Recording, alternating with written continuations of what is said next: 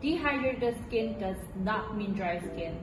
Very often, people mistake these two skin terms to be one and the same, but they really aren't. Dry skin is a skin type, while dehydrated skin is a condition. Dry skin is a result of low oil production by your oil glands, whereas dehydrated skin means your skin is lacking water. Dry skin often looks flaky and rough, whereas dehydrated skin gives you a dull complexion and makes your fine lines and pores more prominent. If you have dry skin, offer moisture-rich products such as the Fig Boosting Essence from I'm From, Galacto 97 Niacin Essence from Purito, and my favorite Red Cream from Skin and Lab. They're very high in nourishing properties, perfect for dry skin. And if your skin is dehydrated, opt for some water-rich products such as the Hyaluronic Acid Toner from Isntree, one of my favorites, and you can go for the Face Serum from Purito and Sea Buckthorn Cream also from Purito. These are perfect, lightweight, but hydrating products that's great for dehydrated skin.